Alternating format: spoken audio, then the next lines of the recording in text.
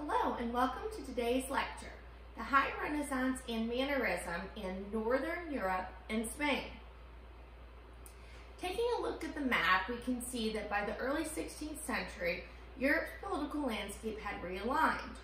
France and the Holy Roman Empire had absorbed the former Burgundian territories we had learned about in previous chapters, which helped them increase their power and their wealth. We'll see that the Spanish end up becoming a very dominant player during the 16th century in Europe. And all of these changes will take place against an extreme backdrop of religious crisis. Of course, that would be the Protestant Reformation of the Catholic Church and Rome's response with the Catholic Counter-Reformation. So some of our main goals are going to be to want to understand the consequences of the Protestant Reformation and the Catholic Counter-Reformation in terms of the art, understand the diversity of cultures and artistic styles in Spain and Northern Europe, identify some artists from the 16th century in Spain and Northern Europe, and recognize and cite artistic terminology from this period. So let's kick it off here with art in the Holy Roman Empire during the 16th century. We're going to want to understand German culture and artistic styles, identify representative German artists from the 16th century, and recognize and cite terminology from the period. So beginning here with Matthias Grunewald's Isenheim altarpiece, we know that Grunewald was a very famous German painter, and one of his more well-known works is the Isenheim altarpiece, which is a large polyptych painting on panel that was commissioned for the Hospital of St. Anthony there in Germany.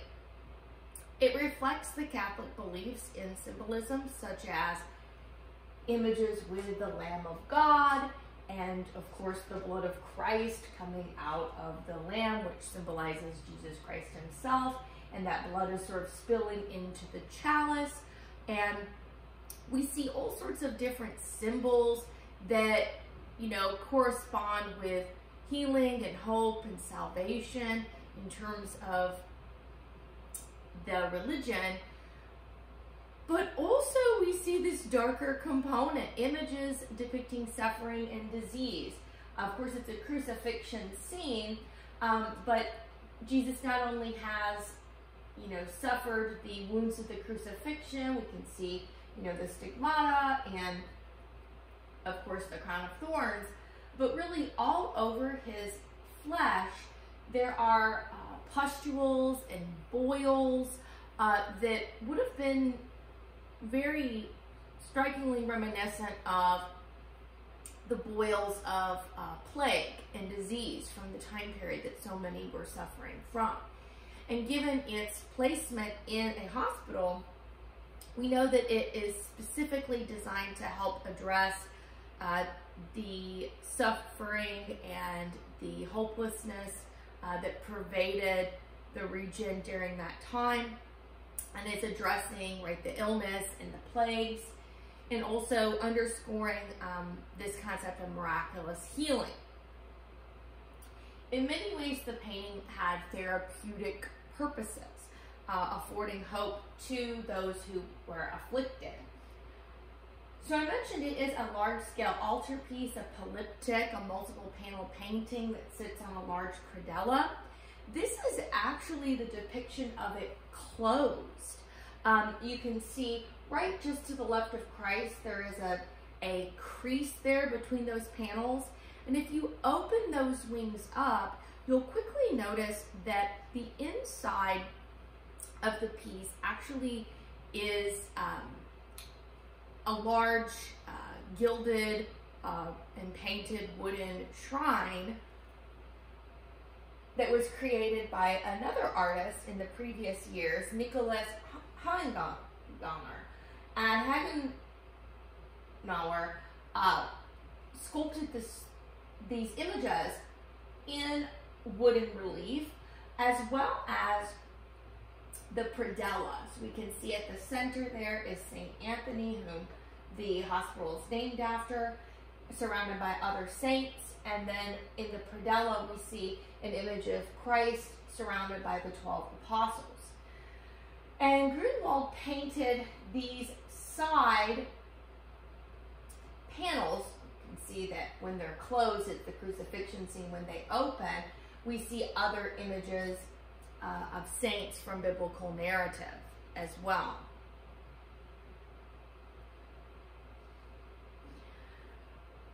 All right, so we mentioned the religious crisis between, um, you know, Protestant and Catholic uh, views with salvation. We're going to get into that a little bit more. But it's also important to understand another counter religion that is uh, pretty prominent during the 15th and the 16th century in Northern Europe, and that is the art of witchcraft. Um, so in an age where the lifespan was only about 40 years old, we see that disease, plague, and superstitious fears were pretty commonplace, which kind of gave an air of um, anxiety and tension to the whole time period.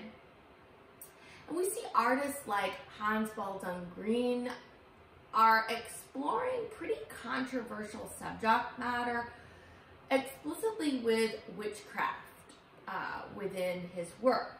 And the subject uh, matter of witchcraft is an interesting one. Of course, what is witchcraft? Will involve magical rituals, secret potions, and devil worship. So, of course, the church condemned the art of witchcraft and subjected uh, the practitioners of witchcraft to forms of torture. So in Hans Baldung Grien's work here, we're seeing just one of the many examples of the subject matter explored with his Witch's Sabbath. And it is a chiaroscuro woodcut. So it is a relief uh, block of wood, relief printmaking, where the artist has carved away, you know, the, the image from the uh, from the block of wood, and then inked up the, the wood, and then uh, printed over the image. So the ink is sort of sitting on top of the wood in this case. And what we see depicted here is a coven of witches. And we see both a mixture of, you know, young, seductive witches and even the old hag witches. And they are all really gathered around this cauldron that is fuming with some sort of concoction, some sort of spell that's sort of blasting out of it. You can see the witch was sort of stirring the cauldron with a wooden spoon. And flying in the sky, we see another witch um, on a goat. Uh, and, you know, we've got a broomstick there, and she's sort of riding backwards, um, which also kind of alludes to this idea of, you know, this sort of backwards nature um, uh, of, of witchcraft, you know, through the lens in which the Catholic Church, you know, viewed it. So Hans Baldung Grien doesn't stop there. He continues exploring these macabre themes, and here he features female nudity. It's really highlighted in the um, uh, luminous kind of marble uh, colored um, flesh of the maiden and we see here death is approaching the maiden as she's admiring her reflection here in a mirror. And then, of course, beside her are images of both an older woman and an infant, which would represent the various stages of uh, life, or the cycles of life. And you can see the warnings pretty clear there with death. He's holding above her head uh, the sands of time with an hourglass. So the meaning could be interpreted as that no one succeeds in warding off death. This piece is housed in uh, the museum in uh, Vienna, Austria. It's an oil on wood panel painting. And again, you can really see the affinity for uh, minute detail and um, glazing techniques and rich color that are so prevalent throughout oil painting in Northern Europe. Okay, continuing on here with artists such as Albrecht Dürer, uh, known as the Leonardo da Vinci of the North. Now, Albrecht Dürer was famous in his lifetime. He became an international celebrity. And we'll take a look at why that is. Of course, his skills and his techniques were important to his reputation, but also he was a master printmaker. So his images were able to be mass produced and then disseminated more widely, you know, broadly across Europe, which also helps him gain reputation further afield. And he himself also took trips to Italy to study Renaissance art. So, you know, taking grand tour and going to um, other locations, um, learning new technologies, and then bringing that technology back to Northern Europe uh, also helped enhance his reputation and his mastery. He was the first artist to synthesize Northern European stylistic features with intricate details, realistic renderings of object, symbols that are hidden as everyday object, and to blend them with these Italian features. We're going to take a look at classical body types, linear perspective, and we see this, of course, in the work of Leonardo da Vinci, with whom he admired very much. He was the first artist to keep a thorough record of his life in forms of self-portrait, treatise on his thoughts, and a diary uh, there in the Northern Renaissance, which also kind of aligns him with Leonardo da Vinci because we know Leonardo da Vinci was an avid sketchbooker, keeping great records and notations and devotions of his thought process and his philosophies behind what he was um, making. And of course, Albrecht Dürer is an important graphic artist. He's best known for his engravings with printmaking. He's influenced significantly by Martin Luther, who challenged the Catholic Church to reform its ways via his 95 Theses, which kickstarts the Protestant Reformation. All right, starting here with Albert Dürer's infamous print uh, known as The Fall of Man, depicting Adam and Eve. It is an engraving, so we're looking at an intaglio print. Uh, this form of printmaking is often times when an artist takes a metal plate, usually a copper plate, and incisors lines in that plate with what's known as a burin, a sharp, you know, pointy instrument, and carving these lines into the metal plate then allows you know the artist to ink the plate, wiping the ink so that the ink goes into all of the little scratches from the burin, and then of course uh, is able to then print the the image over onto paper, usually by running it through a printing press. Now we know that uh, Gutenberg's um, printing press had been uh, an a important aspect to um, the idea of you know mass producing not just images but um, of course text and information. Um, and so we're going to just continue to see the art of printmaking really you know becoming more uh, widely you know important and also you know the techniques just becoming more and more perfected Albert Dürer did you know train as a metalsmith and of course we know him as a excellent draftsman and painter and illustrator. And of course, we know that he was an international celebrity. So here we see two figures based on ancient statues. So we see his um, uh, classical studies coming into play, his classical studies of um, the uh, Roman Vitruvian theory of human proportions, which we also see Leonardo da Vinci uh, resurrecting uh, in his work as well. So this observation of nature, um, this uh, tapping into classical knowledge of great thinkers from the past. But we also see a real inventiveness, you know, in the background scene within the forest, we see different kinds of um, creatures and symbolism that's coming through. We see in his infamous Knight Devil, Death and the Devil print, we see the knight who's sort of symbolic of, you know, courage and this character who's sort of steadfast as he is, uh, you know, on his steed with his trusty dog there walking through this really dark forest surrounded by images of death holding the hourglass and the devil. Now, of course, these images are quite fantastical. And we know that, of course, he tempered his idealization and fantastical imagery with the observation of nature. So we can see it's demonstrated in his well-honed skills in the rendering of all the foliage in the scene and the animals themselves.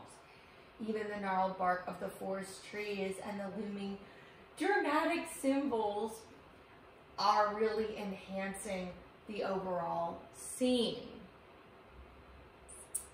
And with this small watercolor sketch, um, we see that he is incredibly interested in science and observation and the mimesis of the natural world around him.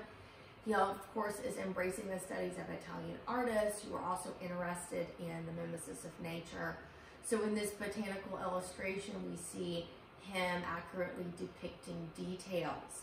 And this quote by Dürer really is very telling about why he places such an emphasis on the observation of nature. He says, Depart not from nature according to your fancy, imagining to find aught better by yourself. For verily, art is embedded in nature. He who can extract it has it. So he's saying, the better you are with your skills on observing nature, you can combine all sorts of elements together to invent, to be fantastical, to make something, you know, believable, beyond reality, beyond, you know, this world, entering the realm of imagination. But it first has to begin with observation of nature. So nature is the great teacher. And of course, this is coming from um, art, other artists in the Renaissance in Italy, like Leonardo da Vinci, who was a big believer that right, nature was the great teacher. Nature had her own laws, her own theories, and these things could not be, you know, uh, separated uh, from from what was, from reality.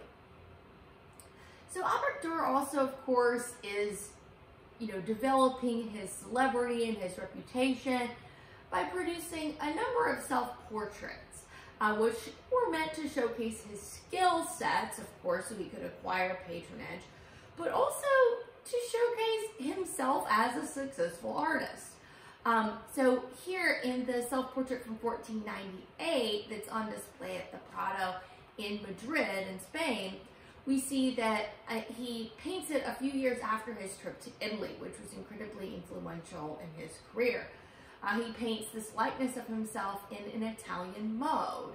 He's seated, the half-length half portrait composition with a three-quarter view in front of a window with this very classical landscape in the distance. And he's wearing pretty fancy outfit, really fancy, um, you know, animal skinned gloves there. So again, prominently sort of displaying himself as a reputable painter.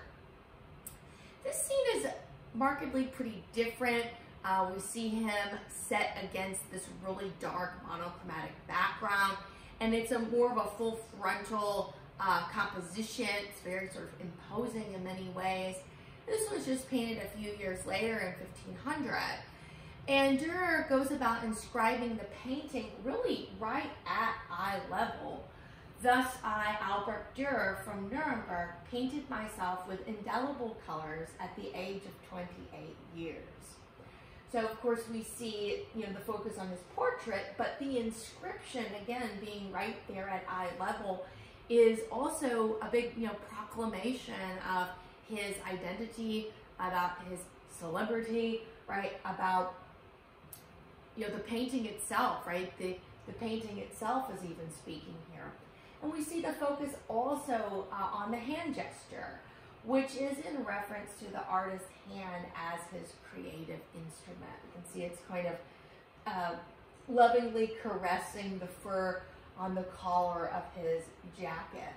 Um, and again, just take a look at the realism, the naturalism of the uh, expression in the eyes, um, the skin itself, and the locks of hair.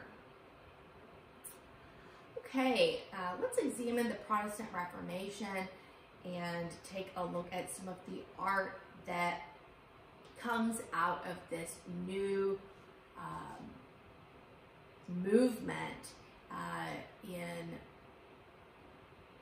the Protestant world. Understand the consequences of Protestant Reformation and the Catholic Counter Reformation, which is Rome's response to the Reformation. Observe how Protestantism affected the role and the imagery within art, and what are some varying concerns with the Catholic and Protestant views of salvation? How are these views portrayed in the art during the time? So this is a uh, woodcut uh, that is created by Lucas Cranach the Elder, and Lucas Cranach was friends with uh, Martin Luther, who is uh, the figure responsible for writing the 95 Thesis, which set out to uh, demand that the Catholic Church reform its ways.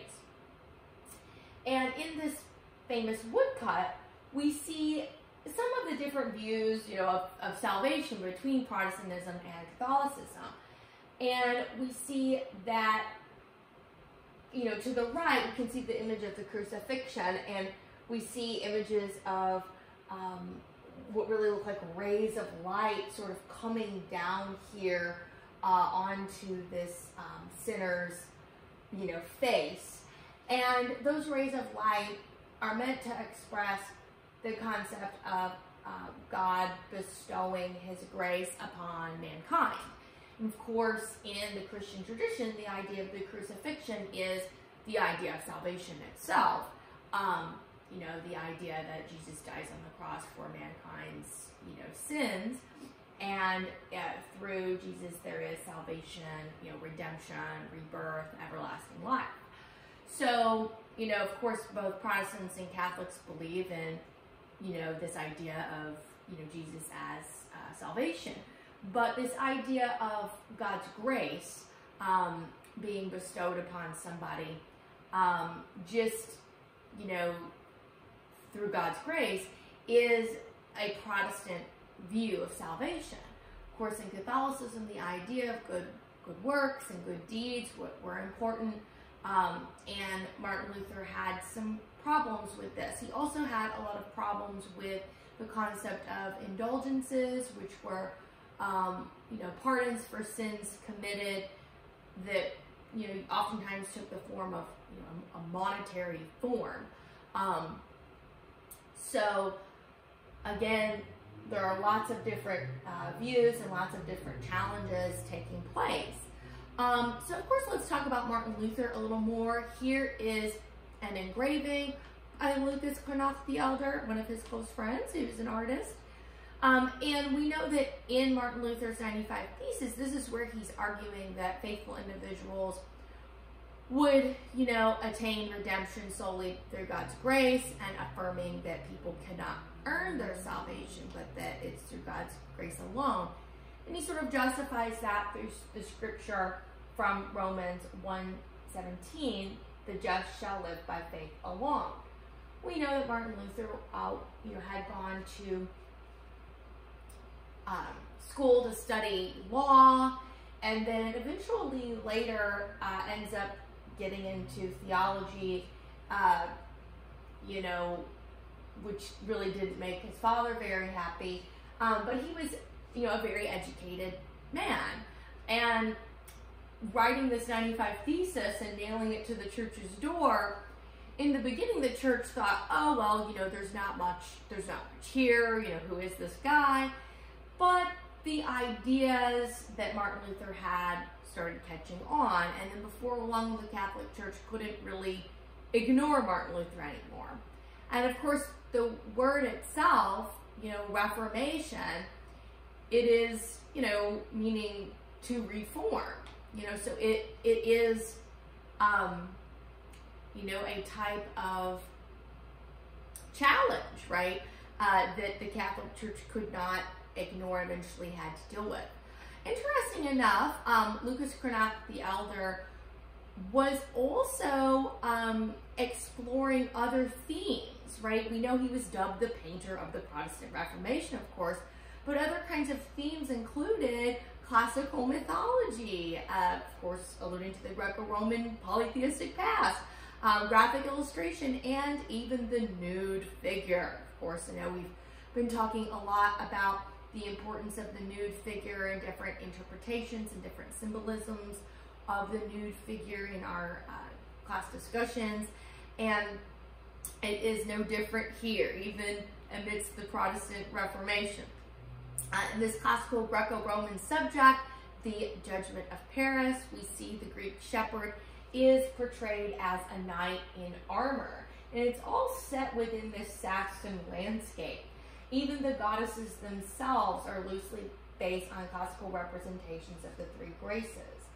So, of course, the, stud the study here with the Judgment of Paris comes from the famous story where we have the uh, three goddesses, Aphrodite or Venus, um, and we have Aphrodite, you know, bribing Paris, the judge Paris, uh, to pick her as the most beautiful of the goddesses in this beauty contest as she bribes him with the most beautiful woman at the time would have been Helen, you know, or as Helen of Sparta or Helen of Troy.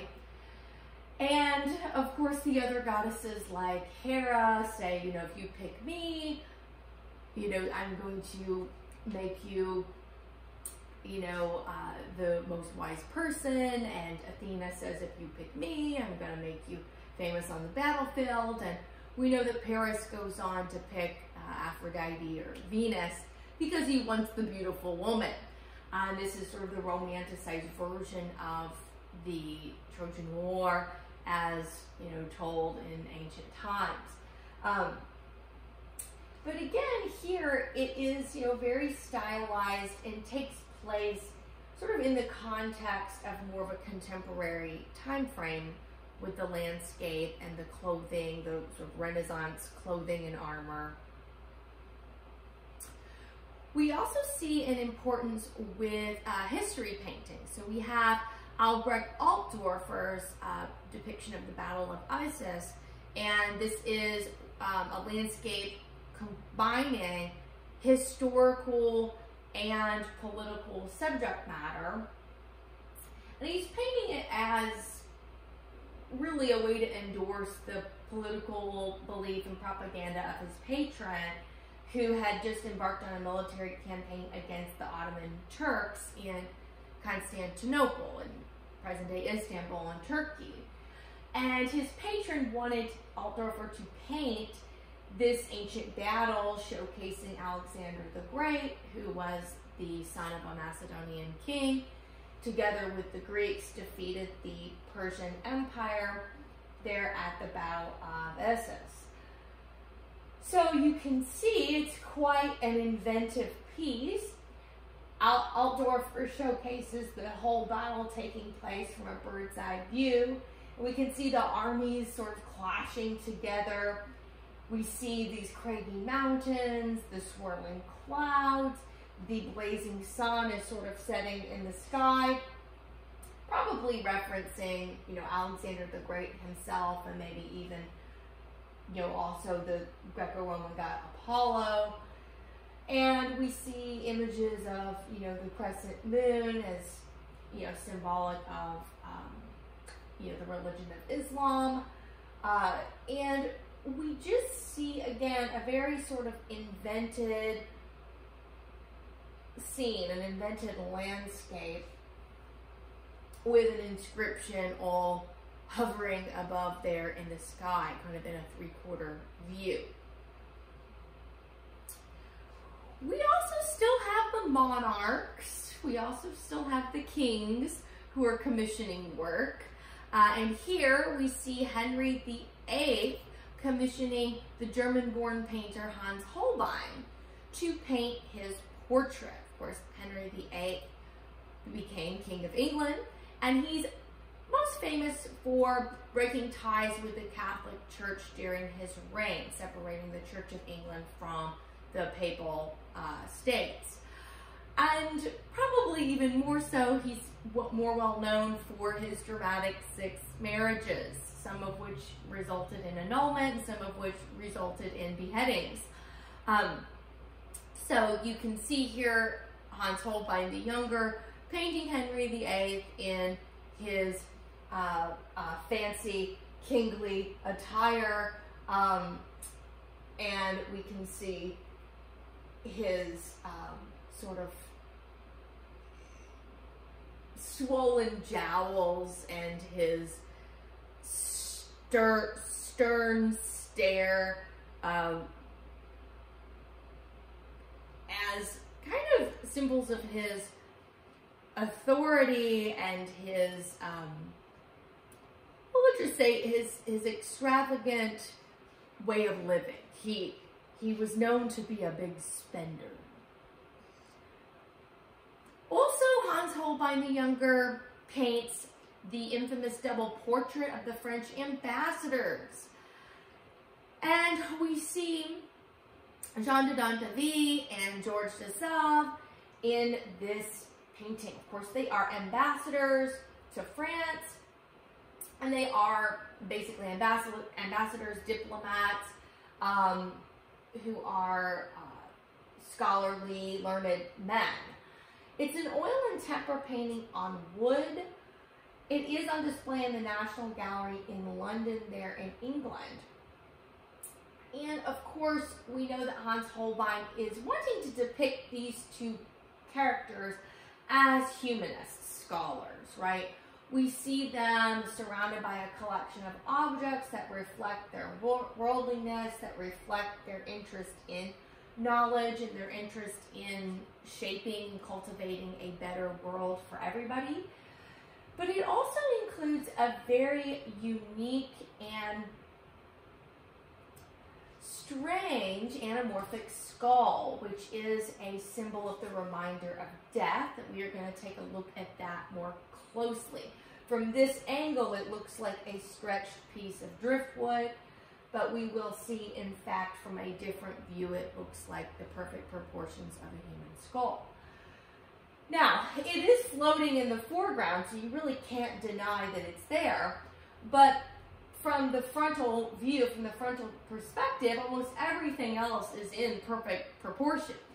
So we know that, of course, the likeness of the sitters is important, but the symbolism of the objects is important. So, of course, the top of the table there is displaying things like, you know, uh, models of the globe and measurements of time, like with an astrolabe and other kinds of uh, instruments that um, humans use to think about um, the passing of time, know, mechanical time, the desire to, you know, understand how the world works.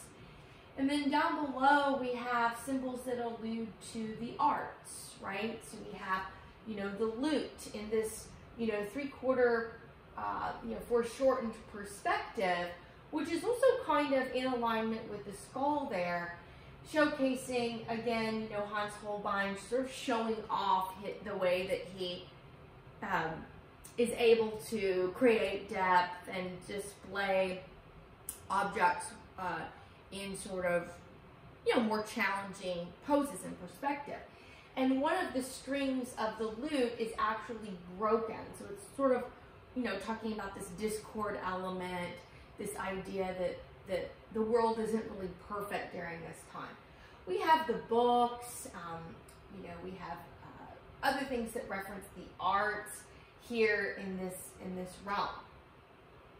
Now, behind them is this beautiful green damask pattern, and in the sliver over here, just behind the curtain, we see a little statue of a crucifix of, of Jesus Christ. So again, the crucifix is sort of symbolic of salvation. And we have this idea of death, right, hovering in the foreground. And if we take a closer look there, we see if we stand just to the right of the painting, the, the skull actually comes into full view uh, as a perfectly proportioned skull. Um, and it's undistorted from that angle. Now, this painting might have hung in a stairwell. So the audience might have viewed it, you know, from the front and then going up or down the staircase would have had a view of it from a, a different perspective. So, you know, Durer again is being sort of fanciful in the way that he can paint, and he's including basically multiple views or multiple paintings within one, but it definitely uh, incorporating the skull, artists did this to serve as reminders of one's mortality. We call this you know, memento mori in Latin, meaning reminder of your mortality. And Holbein may have wanted the viewer to ponder this idea of death and the idea of resurrection, right? Since we do have images of the crucifixion sort of hidden in the background. Um, to view these two things simultaneously. So, a meditation on death and therefore resurrection. All right, let's talk about art in France during the 16th century. So we want to understand French culture and the artistic styles, identify representative French artists, recognize and cite different terminologies. So starting here with the portrait of King Francis I by Jean Clouet. Clouet's portrait shows the king elegantly dressed, of course. This is, of course, showing off his skills. But we have some flattening of the king's features and a disproportion between his head and really his whole body. I mean, even the exaggeration of his shoulders there as really giving, um, you know, a formalized style. The idea of just the, um, you know, formal presence of the king is pretty profound in this. We know that King Francis I was a patron of both painting and sculpture and also the decorative arts and architecture, but he especially loved the Italian masters like artists who we have learned about, Leonardo da Vinci. We know that Leonardo da Vinci worked for King Francis I of France and lived in France and died in France at the end of his life. King Francis, of course, um, you know, lived in, you know, luxurious uh, chateaus, uh, you know, throughout throughout France, but probably the most famous one here is the Chateau de Chambord. And the Chateau de Chambord is also famous um, years later, um, before the outbreak of World War II, a lot of the art collection of the Louvre and, and other museums um, stored their art in various chateaus throughout France to help preserve them and protect them during the uh, you know, rape of Europe by Hitler and the Nazis. So, famous works of art that ended up being stored there were the Mona Lisa by Leonardo da Vinci and the Venus de Milo from the um, uh, Greek uh, classical past. The Chateau de Chambord is also noteworthy because, of course, I mentioned before, it was the country house for the royalty for King Francis I. But it also, you know, reflects his taste for Italian design, so it's sort of modeled after Italian palazzos. But it also has dramatic Gothic roofline, which also speaks to that French, you know, Gothic cathedral style that we had learned so much about in previous chapters. And here's a bird's eye view of the Chateau de Chambord and, you know, part of the Loire Valley there. Okay, let's get into the Netherlands during the 16th century. All right, my favorite here. We're going to look at Dutch culture and different artistic styles. We're going to look at also the importance of genre painting uh, there in the Netherlands. We're going to identify different Dutch artists, also including successful female artists. And we're going to recognize and cite different artistic terminologies. So probably one of the more famous works from the entire chapter is The Garden of Earthly Delights by Hieronymus Bosch. And it is a triptych, a three panel painting, oil on wood. And the three scenes depicted really are the scenes from um, paradise. We see Adam and Eve there in the garden. We see the central panels where a lot of drama is taking place. This represents the earthly realm. And then the far panel represents scenes of hell and damnation. Now, we know that in this fantastic landscape, scores of nude people are cavorting and frolicking about the whole scene. Meanwhile, in the horrors of hell there uh, on the end, we see that there are many depictions of these sinners who are enduring tortures uh, tailored, you know, to their conduct, right, when they're living on earth. Um, and the painting serves as a moralistic warning to sinners. Now, of course, there's there's going to be a lot of fantastical uh, imagery throughout, and I'll show a few slides of details. Um, but really, you could spend an entire semester studying all of the figures and the inventiveness, you know, in the scene and the meanings and the ambiguous meanings within the entire painting itself. But, you know, what is the overall theme? Well, you could definitely say it's serving as a moralistic warning. And it makes sense given the time period, um, given the time period with the, all of the, you know, the religious crisis going on, the religious warfare between, you know, Protestants and Catholics and, um, of course, the power structures even the um, political uh, battles that were taking place during the time. Now, this is, of course, a triptych. So this is the view of it when the uh, panel is opened up. So, of course, the interior is very colorful. It's almost gem-like. Um, and the piece is actually on display in the Prado in Madrid in Spain because it had been acquired by King Philip II, you know, in later years. And it actually does go on to influence the works by other Spanish artists and Catalonian artists in the time of Surrealism when we get to uh, learning about modernity later with artists like Salvador Dali. Uh, so, you know, Hieronymus Bosch really is just ahead of ahead of his his lifetime, you know, really uh, ahead of ahead of himself uh, when it comes to fantastical imagery and invention. And he does go on to inspire other uh, painters in modernity later. But again, the subject matter for Hieronymus Bosch would have been very um, serious subject matter for the time period. Uh, so we know that Hieronymus Bosch probably learned how to paint from his family. His father was a painter and so on. And his life is pretty obscure. His name, Hieronymus Bosch, Bosch refers to Sir Hertgen Bosch, um, or Den Bosch, uh, which is basically where he's from, but this translates to the forest.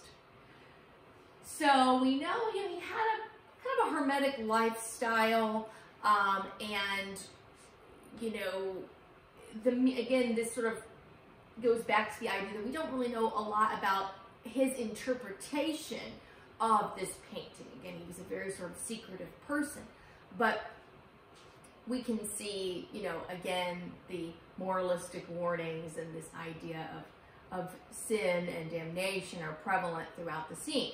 When those side wings are closed, this is actually what the exterior of the painting looks like. So we actually see the exterior panel showing the world during creation, probably on the third day after the addition of plant life, but before the appearance of the animals and humans, which we end up seeing when the panels open. You can actually see a little character up here sort of floating in the upper left-hand corner, which is probably symbolic of, um, you know, the creator uh, character. Okay, let's look at um, some details there of the first panel um, details of the left panel depicting paradise. Um, and we so we see, you know, God the Father here looking sort of a little bit like a mad scientist. Of course, he's in this landscape, he's with Adam and Eve. And we see that there's a lot of different references to alchemy, not just in this scene, but really throughout the whole scene. And I just always imagine, you know, Hieronymus Bosch in his studio, you know, playing with his, you know, uh, food, like taking, you know, eggs and eggshells and creating little still lives, or taking, you know, the crab legs from his from his dinner and you know rearranging them in these different sort of sculptures and just creating the the most fantastical you know architecture that's sort of set up in this landscape or maybe even you know vials and beakers from his um, from his workshop uh, in the scene. So you know the artist sort of as a mad scientist here in the studio is definitely an image that I sort of conjure up when I think of the artist at work. We see that there are other animals, things like elephants and giraffes, animals that definitely are not walking around in Northern Europe. But we know that Hieronymus Bosch probably had access to these uh, uh, uh, detailed depictions of animals through printmaking, through printmaking, through prints um, and books, you know, from libraries. Um, and then, of course, fantastical images of unicorns um, and other less recognizable animals, but also animals that he would have seen every day. Birds, fish, you know, things that live in the water, snakes, insects, and so on. The central panel is Earth. Now, all throughout the central panel, we see there's this emphasis on the nude figure. We see pretty much everybody is nude and everybody is sort of frolicking about. There's like all these orgies going on. It's just, you know, a real stampede of, of uh, human, you know, um, I like to call it the parade of humanity. Um, but yeah, just the humanness of, of being human is going on. And we see sort of amidst that, there are images of different fruits. We see like strawberries and other kinds of berries. Here, there's really what almost looks like a pineapple. And we see images of different birds, like in the case of the owl or the uh, mallard duck back here, all throughout the scene. Nothing is painted to scale. I mean, everything is really completely stylized and symbolic. However, the affinity for the minute detail is very realistic, right? So we see, you know, the transparency of the um, dome that these lovers are in is so beautifully rendered. We can see how frail and fragile it is. It's about, the glass is about to crack, probably symbolizing this idea of, um, you know, a warning um, that something here is about to, to go wrong. Maybe this is a scene of adultery or this idea of, you know, lust and um, other types of sin are about to take place. Um, the plumage in the owl is quite miraculous, and actually throughout um, Bosch's painting with Garden of Earthly Delights, as well as throughout many of his other paintings in his you know rep full repertoire of work that we have, we see lots of images of owls. And owls, of course, we think of owls as, uh, you know, wisdom, as a symbol of wisdom. But yeah, they are a creature of the night, and in many ways they are serving as, you know, a a moralistic warning themselves um, of something a little more sinister. Um, also, it has been speculated by different scholars on Bosch that the owl itself might actually represent the forest, um, you know, in Bosch, where Bosch was uh, from, um, you know, so in some ways the owl could be even a self-portrait of him, um, you know, as a, you know, creature of the forest. So that's something to just think about. And then, of course, uh, you know, the detail of the right panel in hell, and we know, of course, like all good artists, Bosch saves the best for last. Um, and we see in hell Uh, all of the tortures of hell are set against this backdrop of blackness. This city almost looks like a prison, and uh, everything is on fire. And it's important to recognize when Bosch was a teenager, the town in which he lived actually was uh, under siege and was set on fire, um, you know, due to the political and the religious, you know, warfare going on during the time. And, you know, he's living during a time where people are being burned at the stake for being witches and, you know, whether they were practicing witchcraft or not. And, you know, again, towns are being burned down to the ground. There's raping, pillaging, and burning going on everywhere, whether it, you know, be, um, you know, due to, like I said earlier, religious or political reasons. So even though this is a fantastical image of hell, in many ways, it's, it's subject matter that he really witnessed in his lifetime on earth. So that's something to kind of think about. And all about, we're going to see different kinds of tortured um, humans that are, you know, being tortured by demons and different kinds of hybrid animal-like creatures that have beaks and claws and nails and teeth and you name it. And probably one of the more infamous character is what is known as, you know, the devil in the night chair here. And we see he's essentially a bird-like creature that's sitting on a toilet, you know, a latrine chair. And this toilet is sort of like his throne. And he's ingesting human beings and then excreting them out um, into basically a pit of despair. and of course, we see other wretched humans and they're vomiting into this pit of despair. And in the pit of despair, there are even these reflections of, you know, tortured faces beneath that water filled with vomit and human excrement. So it just keeps getting worse and worse and worse. And we will definitely take a look at this painting in more detail uh, when we zoom together next class. Like I said, we could spend a whole uh, semester on it. All right, uh, Pieter And this is the Butcher's Stall, an oil painting on wood. A great example of both a genre painting, which is a painting that depicts daily life, so we're kind of looking at, you know, the meat in a, in a meat market, but um, Aertsen actually combines it with a biblical narrative. So we have, you know, genre painting being combined with biblical narrative here. And what we see in the background is Joseph leading a donkey, which is carrying uh, Mary and the Christ child. So he's balancing, right, images of really what could be considered gluttony. You know, if somebody eats all this meat, they truly would be a glutton, um, with allusions to salvation. So, again, sort of in alignment here with, you know, moralistic warnings. Of course, gluttony is, you know, one of the seven deadly sins, and sort of pairing that against, you know, uh, themes of salvation and, you know, biblical narrative, um, with images of Jesus and Jesus' life. So, thought provoking. All right, this is the first known Northern European self portrait by a woman artist, Katharina van Hemessen.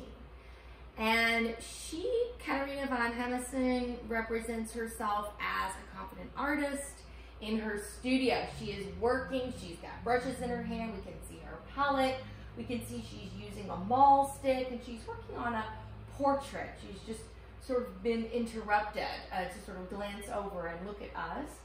Um, she's showing herself as a confident artist uh, with professionalism and skills that were absolutely desired during this time period. She ran a pretty successful workshop and of course in um, recent years, a lot of scholarly research has gone into studying her her work and um, putting together the work for um, you know large retrospective, so that people can understand the importance, you know, that she played during this time period.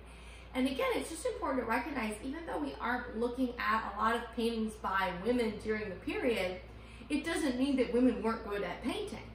The problem really arose with the idea of how did women have access to the secret knowledge of painting? Of course, that meant that they had to learn painting just like men did um, from masters, right? They had to go into an apprenticeship, go into a workshop, and learn from somebody.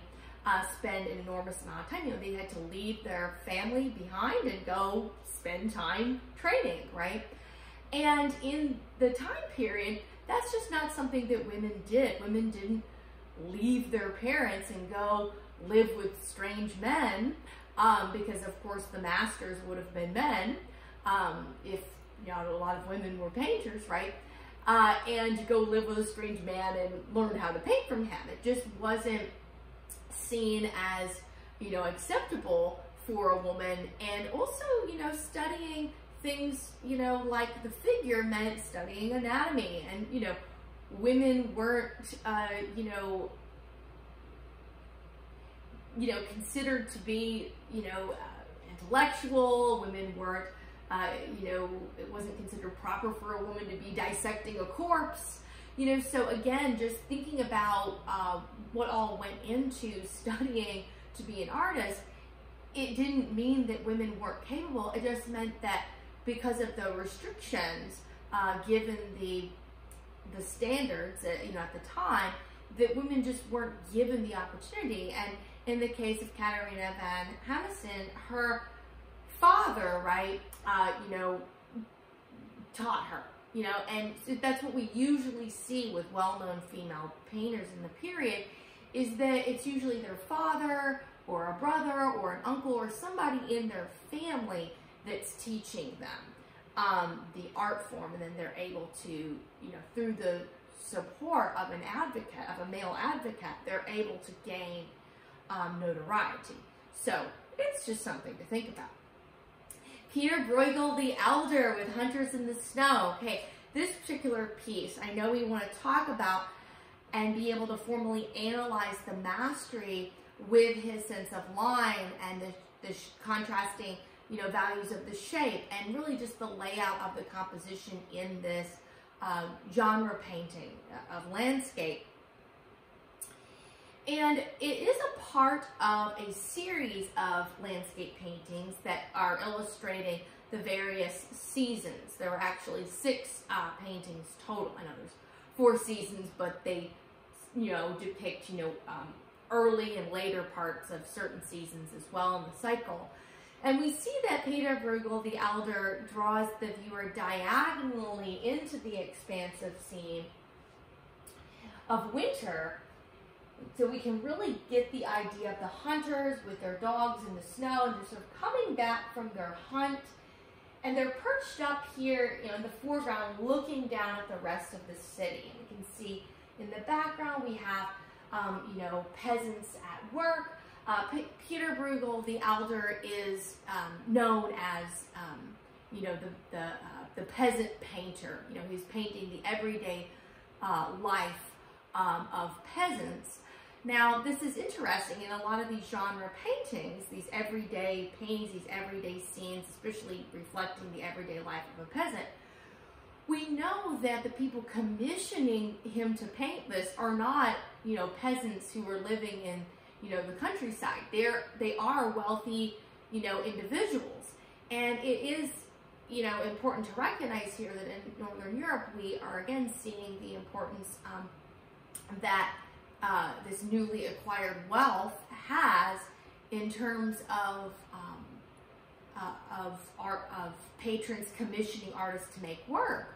But it's interesting. We're seeing these wealthy individuals commissioning an artist to highlight the everyday life of everyday people, peasants.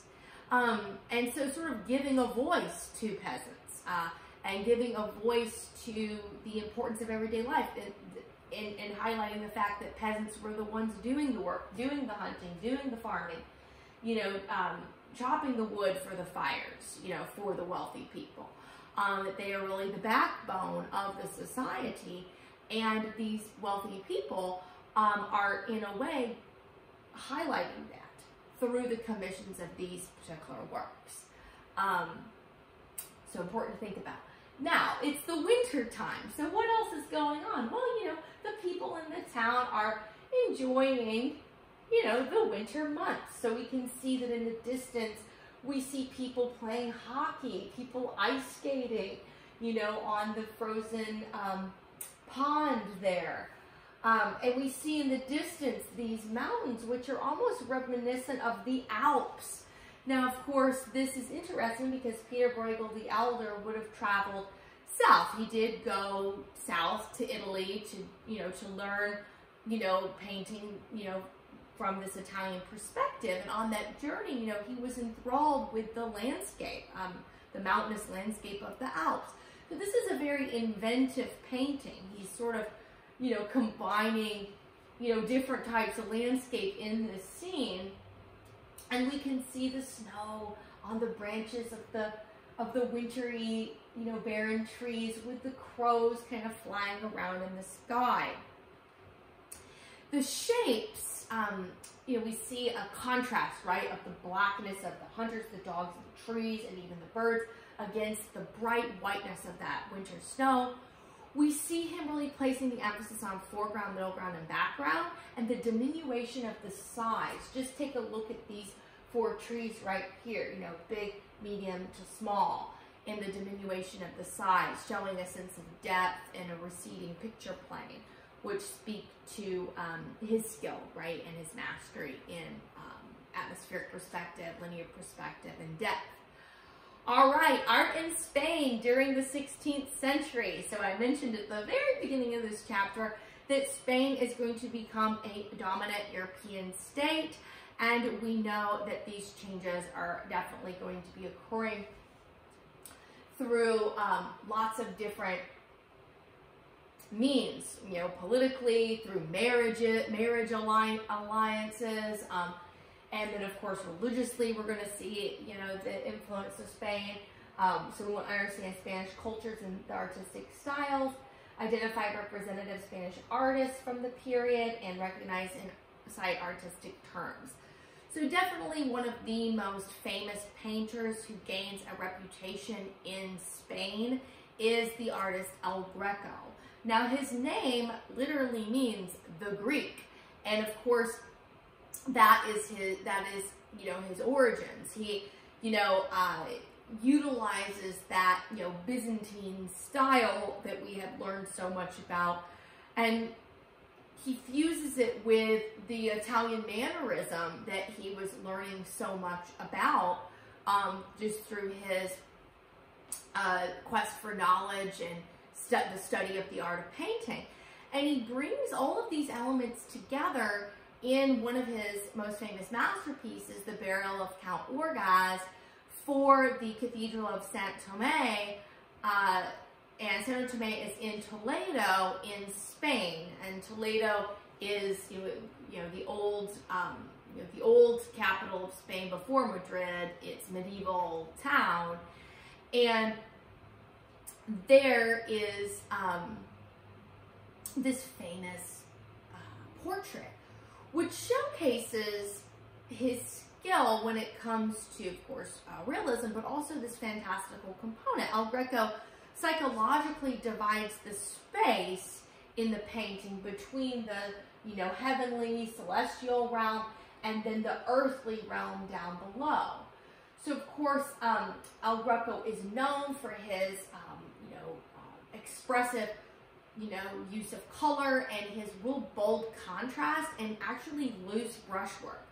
He's really a painter ahead of his time and he's going to go on to influence other famous Spanish painters that we'll learn about in the subsequent um, uh, Baroque uh, chapters when we get to Baroque Spain with artists like uh, Diego Velazquez. Um, so this loose brushwork, this idea of stylizing the form, right, coming out of this um, Mannerist style, and then the Byzantine tradition showcasing that emphasis on symbolism, um, you know, the, the spiritual, the kind of the heavenly realm, and the stylization that's sort of related to that. And so we see this drama going on there, but in, in really in the psychological division the space, now we have the earthly realm. If we look a little more closely at that, we actually see the burial of the Count, Count Orgaz, down here. And he's seen with all of these different saintly figures. We have characters actually from, um, you know, the parish church, which, you know, the Church of Santo Tome, which uh, El Greco was a part of that church. Um, and we see El Greco includes his self-portrait here with these other um, uh, supporters of the church, these other mortal men dressed in black with you know various emblems um, on their uh, on their outfits, and we'll see that we've got the saintly figures, so the spiritual is combined with the historical component in his works. The young boy down here to the left represents El Greco's son, and we see that there is a, you know, kind of earthly narrative here. Portraits of different famous people from, you know, the, uh, the Church of Santo Tome, as well as, you know, biblical narratives. And, you know, he's commemorating the life of this person, right, who is his friend and um, a friend of the church. Uh, so really um, phenomenal in the sense of um, combining the spiritual, you know, the political, and the and the everyday in into his work. Well, this does conclude the lecture, and I had a lot of fun with you all today, and I look forward to seeing you all again very soon. Bye-bye.